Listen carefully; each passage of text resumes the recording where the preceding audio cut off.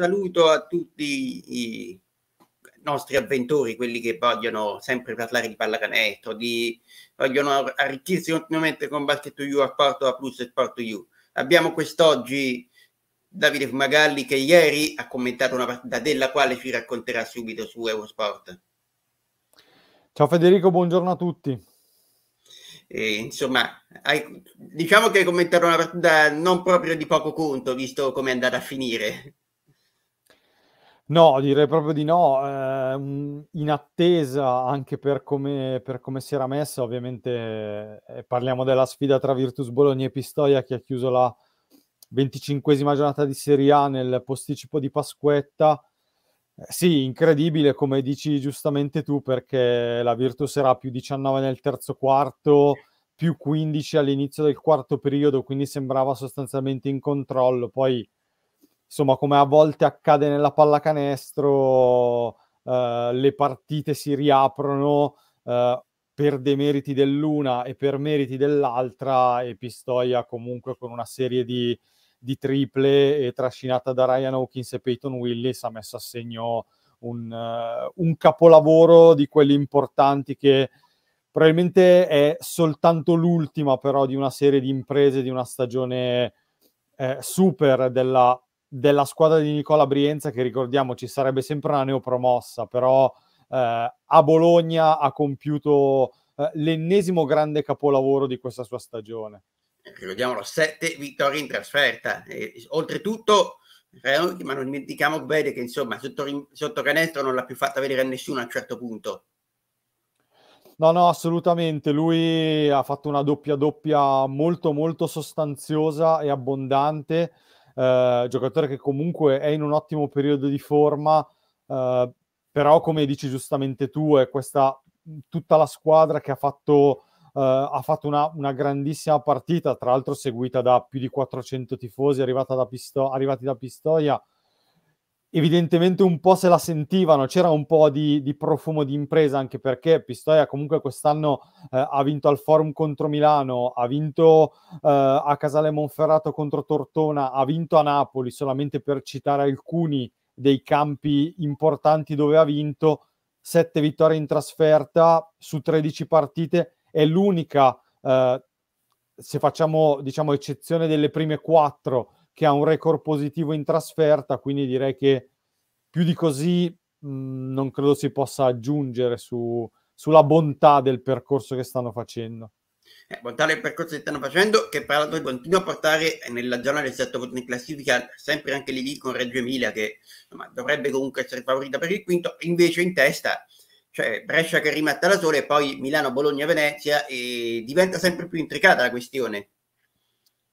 diventa molto, molto intricata. Tra l'altro, Brescia resta in testa uh, pur non brillando, perché insomma, eh, dalla Coppa Italia in avanti la squadra di Alessandro Magro non sta, uh, non sta dando grandi certezze. Sembra forse un pochino stanca, forse uh, sta sentendo anche un po' la pressione nel gestire questo primo posto. Ha vinto una partita pazzesca a Varese nell'ultimo weekend, ma in generale mi sta dando delle sensazioni appunto un po' di eh, così un po' di fatica, sta un po' arrancando, però insomma eh, quelle dietro si stanno mm, portando, stanno perdendo qualche punto eh, e quindi per il momento ha il primato. Ricordiamo che domenica tra l'altro c'è Venezia Virtus, quindi insomma sarà un'altra sfida che, che potrebbe favorire appunto eh, la stessa Brescia perché sappiamo insomma quanto diventa importante questo primo posto perché vuol dire poi avere il fattore campo sempre eh, in tutti i playoff. Oltretutto, ecco, a parte il parlare di una sfida come Varese Brescia che si è trattata molto semplicemente di una specie di Nico Magno Show 37 minuti, una cosa irreale completamente, ma Nico ormai da quando è tornato in Italia è stato come liberato in certa sostanza da Varese e invece poi per quanto riguarda Brescia e comunque anche un calendario non facilissimo perché Tortona è vero in casa, Venezia è vero in casa, ma poi trasferte a Cremone e Milano e poi l'ultima con Brindisi che si sta, che si sta riprendendo. No, no, assolutamente, ma credo che da, da adesso in avanti, eh,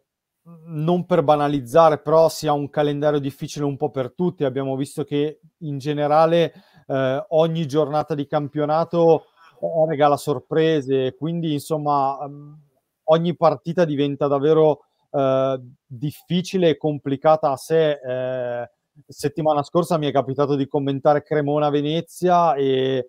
anche lì sembrava una partita sulla carta favorevole per, per la Reyer che invece ha perso questa settimana appunto Virtus Pistoia sembrava indirizzata e poi abbiamo visto com'è finita quindi ogni settimana può, possono davvero venire fuori delle sorprese anche perché insomma eh, la corsa ai playoff è aperta la corsa al primo posto è aperta ovviamente la corsa per non retrocedere anche se Brindisi e Pesaro sono un po' più indietro rispetto alle altre ma è aperta quindi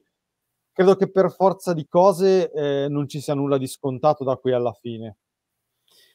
Non c'è nulla di scontato e hai detto bene anche sulle difficoltà, tant'è vero che questa giornata è stata anche molto particolare perché le partite si sono concluse tutte sempre entro gli 11 punti di divario, che è il massimo che si è visto il Tortona Cremona,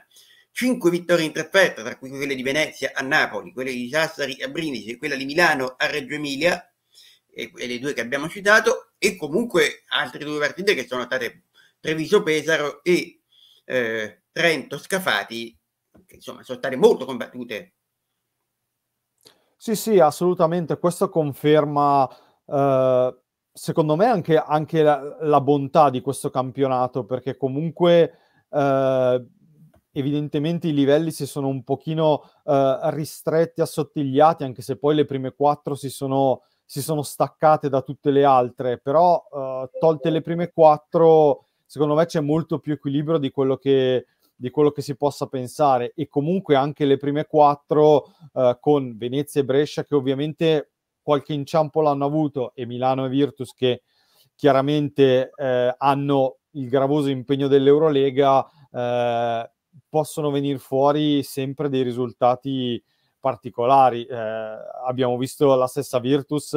perdere a Pesaro o perdere in volata a Sassari, eh, la stessa Milano con qualche inciampo. Quindi eh, resta aperto e equilibrato e quindi eh, tutti i risultati, insomma, eh, diciamo così, non nascondono chissà quali sorprese, sono semplicemente lo specchio di un campionato che probabilmente è molto più equilibrato di quello che la stessa classifica possa far pensare. Hai toccato il tasto Eurolega e io tocco inevitabilmente la, la situazione che lega il basket italiano questa settimana particolare perché questa è la settimana del derby italiano e però con Milano che è praticamente obbligata a vincere per conservare quel minimo di speranza di play-in che ancora ha perché stiamo parlando veramente di neanche il 10% di probabilità a questo punto. Sì, la, la, la, sconfitta di Kaunas chiaramente è stata, è stata una bella botta per, per Milano eh, e quindi adesso diventa fondamentale e imprescindibile, potrebbe anche non bastare come dici giustamente tu, però è imprescindibile vincere contro la Virtus venerdì sera al, al forum questo, questo derby di Eurolega, una partita che comunque non è secondaria per la stessa Virtus, un po' per il prestigio, e un po' perché la Virtus deve provare a prendersi quell'ottavo posto, non può più arrivare settima, però deve cercare di chiudere nella posizione migliore possibile perché vorrebbe dire garantirsi eh, appunto un posizionamento migliore in, in chiave play-in. Quindi eh, la squadra di Banchi non regalerà nulla e poi comunque eh, anche per loro diventa importante subito uh, così invertire la rotta perché dopo la sconfitta col Panathinaikos e appunto quella contro Pistoia bisogna per forza di cose rialzare subito la testa, anche perché poi, come abbiamo detto, 48 ore dopo, anzi meno, c'è la gara del Taliercio con Venezia, quindi insomma eh, non ci sono soste, non c'è pausa per nessuno. In verità, però, quello di Bologna è un problema che nasce da un po' più lontano, perché in Eurolega ha vinto molto poco fin, da, fin dall'inizio di gennaio e più in generale stanno, stanno emergendo diversi problemi nella Virtus perché comunque non, cioè, sembra che si sia persa proprio l'onda della prima parte dell'anno. Al di là del sì. piano tattico, quello sicuramente ce ne vuoi parlare anche meglio, però sia il piano tattico che quello anche proprio morale sembra un po' svanito, ecco. Sì, probabilmente, eh, infatti è molto diverso il record della Virtus tra il 2023 e il 2024, soprattutto a marzo c'è stato uh, un calo uh, evidente, non, non, c'è alcun dubbio. Io, diciamo così, semplificando un po', direi che all'inizio la Virtus ha anche overperformato un po' per l'entusiasmo portato da Luca Banchi. Eh, ovviamente, quando c'è un cambio di allenatore, c'è anche quella, quella scintilla, quella scarica di, di, energia nervosa, di entusiasmo, e tutte le cose sono andate bene. Le prestazioni di Lundberg, vittorie in Eurolega arrivate in volata. Mi viene da pensare quella con l'Olympiacos, quella col Barcellona in casa, eh, quella a Belgrado col Partizan, insomma una serie di prestazioni che poi hanno aumentato anche a dismisura il morale. Viceversa nel 2023 secondo me questa squadra innanzitutto ha accusato un calo fisico, è evidente, perché comunque l'età media della Virtus è molto alta e quindi per forza di cose eh, il calo di Schengelia, eh, Dobric che c'è stato ad intermittenza, problemi fisici amici, adesso comunque ne, nell'ultimo periodo secondo me pesato, sono pesate tanto le assenze di Cordinier e Hackett stanno pesando tanto, soprattutto in Eurolega. L'atletismo e la fisicità di Cordinier è un qualcosa da cui la Virtus non può prescindere perché è il giocatore di maggior spinta da questo punto di vista e quindi sta venendo fuori un po' tutti i limiti di una squadra che poi ultimamente si è aggrappata molto a Marco Bellinelli, però pur essendo un fuoriclasse, ma stiamo sempre parlando di un giocatore di 38 anni a cui non si può chiedere di vincere da solo le partite. Quindi credo che siano un insieme di, di fattori, ce ne sono sicuramente altri. Ho provato così a riassumere quelli che credo siano quelli più importanti. Fondamentalmente il, il fatto adesso è che a questo punto ci sarà, questo è già certo, eh, l'ingresso nel play-in e a questo punto sarà il play-in che però avrà bisogno di affrontare se possibile la settima ottava, perché dobbiamo ricordare anche il format del play-in, che è sostanzialmente un po' come quello NBA, cioè settima ottava si confrontano, chi perde va ad affrontare la vincente del confronto nona decima. E quindi questo vorrebbe dire che se la Virtus arrivasse ottava, riuscirebbe eventualmente a tentare di avere un solo confronto e anche un confronto migliore, perché comunque dipende anche da lì il confronto, perché chi vince il primo va con la seconda e chi vince il secondo va con la prima la quale prima è il Real Madrid che ha dominato la stagione. Sì, mm, sì, sì, assolutamente. Eh, è stato, il Real è stato al comando dall'inizio con un ruolino di marcia straordinario. C'è poco da dire, sono i campioni in carica, sono la, la squadra più forte. Hanno avuto solamente forse quella mini crisi con quella serie di tre sconfitte di fila eh, che poi è stata chiusa proprio vincendo a Bologna contro la Virtus, direi che non c'è dubbio che siano loro i favoriti. Poi eh, sappiamo anche che eh, il format dei playoff, ma poi soprattutto quello della Final Four su gara secca può regalare delle sorprese, ma a maggior ragione loro mi sembrano una squadra difficile da battere anche in gara secca, lo hanno dimostrato un po' per la loro storia, un po' per tradizione, eh, un po' per i campioni che ha. Mh, è difficile vedere qualcuno che non sia con la maglia blanca a vincere, vincere ancora il titolo, però chiaramente eh, la pallacanestro è molto bella perché, perché può regalare qualsiasi sorpresa, a maggior ragione nella Final Four e quindi insomma eh, vediamo, le pretendenti non mancano, cioè il Panathinaikos soprattutto mi sembra una, mi sembra tra tutte quante le contendenti, forse quella più attrezzata per provare a fare uno scherzo. Cambiando invece un attimo fase andando sul discorso nazionale, è notizia di stamattina che Gigi D'Adome si, si sapeva che è andato negli Stati Uniti per incontrare Danilo Gallinari, ma io sinceramente non credo che ci fosse anche solo il dubbio che Gallinari rispon- possa rispondere alla chiamata di Pozzecco qualora chiamato, e mi sembra anche eh, abbastanza evidente, nel senso che un preolimpico senza Gallinari mi sembra un po' difficile da affrontare. Semmai la questione diverte su Di Vincenzo che è stato sostanzialmente scartato dalla federazione, da quello che risulta, per evitare altri casi banchero. E invece sembrerebbe starsi complicando la questione di, di, di Eubanks perché, secondo la Perpina, questa situazione dovrebbe, andrebbe a finire più o meno nei tempi in cui bisogna consegnare la long list 24 alla FIBA Quindi come può cambiare tutto l'assetto in base alle situazioni che possono evolvere? Ma io credo che queste sono sempre situazioni un pochino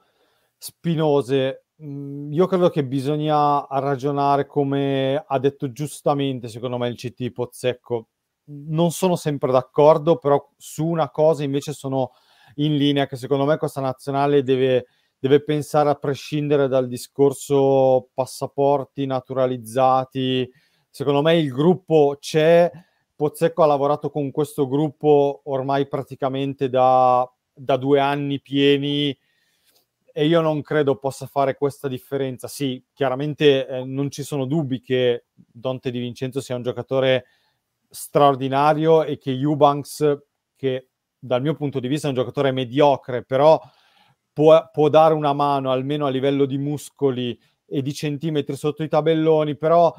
io credo che l'Italia sia talmente abituata ad avere un assetto, ad avere una sua chimica, ad avere un suo percorso che deve andare avanti con questi, cioè Pozzecco ha lavorato con questi, si fida di questo gruppo, è in totale sintonia con questo gruppo e quindi certo, Danilo Gallinari, poi vediamo anche il percorso che fa con i Milwaukee Bucks, però in generale credo che Danilo Gallinari ci sarà ed è giusto che ci sia perché comunque ha sempre fatto parte di questo gruppo più Simone Fontecchio, però credo che i giocatori siano questi e debbano essere questi. Poi eventualmente dopo il preolimpico e ci auguriamo dopo le Olimpiadi, forse si aprirà un nuovo ciclo, forse ci sarà un altro CT, però poi a quello ci pensiamo, però la priorità deve essere il preolimpico, deve essere questo gruppo soprattutto, cioè, eh, intanto stato anche un simpatico aneddoto, lo raccontarono qualche giorno fa da Mero Sacchetti che voleva letteralmente dare la squadra in mano a Messina per le Olimpiadi, però giustamente l'hanno tenuto per le Olimpiadi perché, cioè, cosa fa un coach? Cioè, si cambia coach per le Olimpiadi, non avrebbe avuto neanche senso alla fine. E invece per quanto riguarda sempre la nazionale, si continua a girare intorno al discorso di Marco Beninelli, eh, tu cosa ne pensi? Ma faccio lo stesso discorso dei, per quanto riguarda i possibili naturalizzati. Eh, il, quello, che, quello, che, sta facendo Bellinelli in questo momento, ma in generale nelle ultime stagioni, credo che sia strepitoso, ribadisco, per, per l'età, ma io non credo che si possa discutere Marco Bellinelli per quello che ha fatto in generale. Però io credo che bisogna un po' rispettare anche la, la, decisione che lui stesso ha preso e come ho detto prima, secondo me c'è un gruppo già formato, non ha senso andare a, a stravolgere degli equilibri. Bellinelli è un giocatore che per quanto sia un fenomeno, però è un giocatore ingombrante da un certo punto di vista. Io non credo che si possa portare e, e poi come, come, viene reinserito è, è un po' complicato dal mio punto di vista, e eh, poi ribadisco, mh, mm, non c'è nulla da dire sul giocatore Bellinelli, però io non credo che si possa uh, stravolgere degli equilibri che già ci sono e quindi io non lo convocherei. Eh, andrei, ripeto, andrei avanti con questa linea. Situazione Eurolega che eh, sta diventando un po' spinosa, non tanto, non già per la classificazione, ma, per, ma per il dopo. Si dice che l'Alba Berlino possa non avere la licenza per l'anno prossimo, si dice, si dicono tante cose e la, si dice anche che la Virtus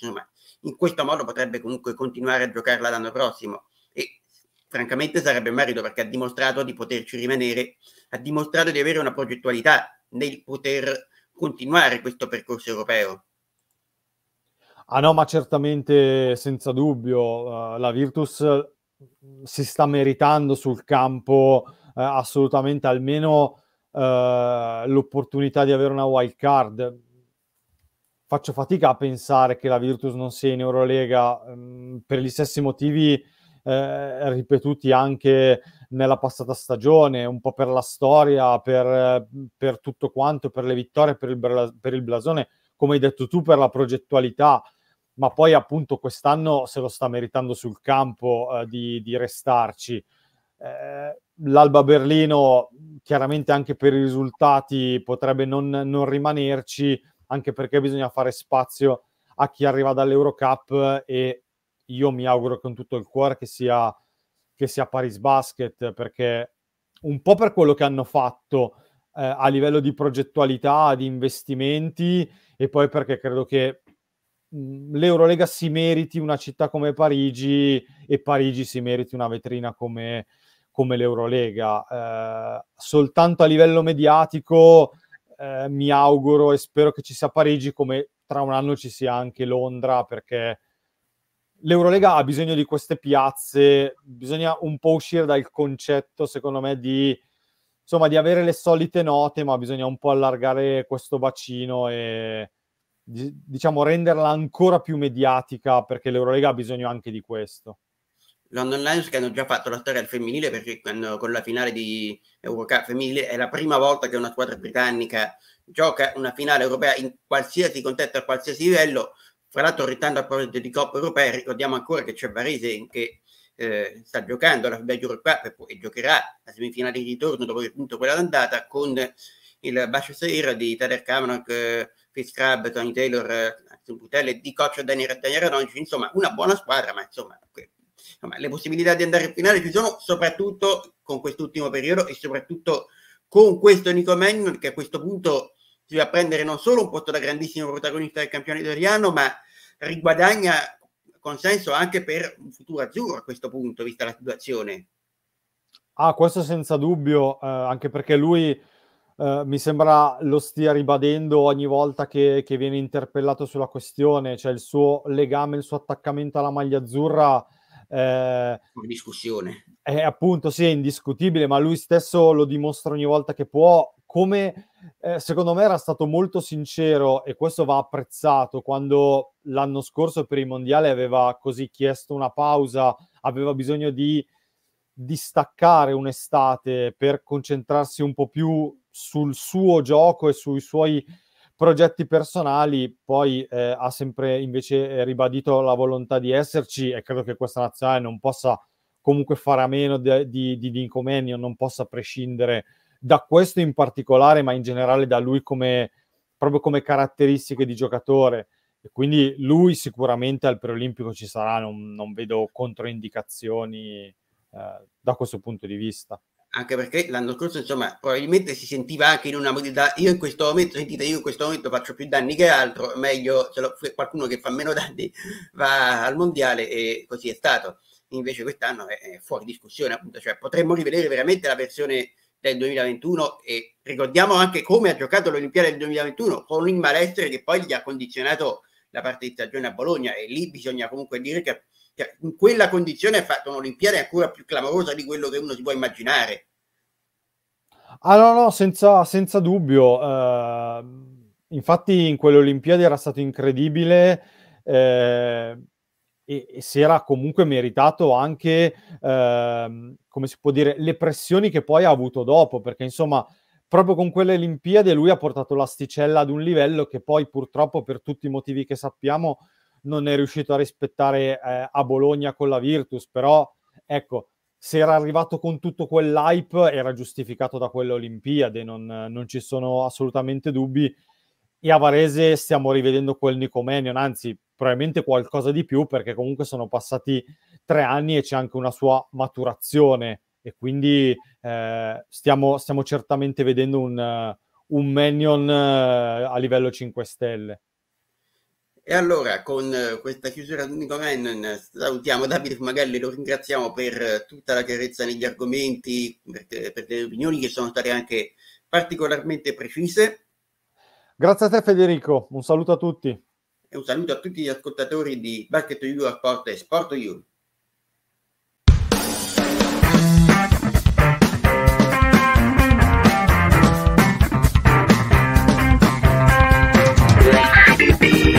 thank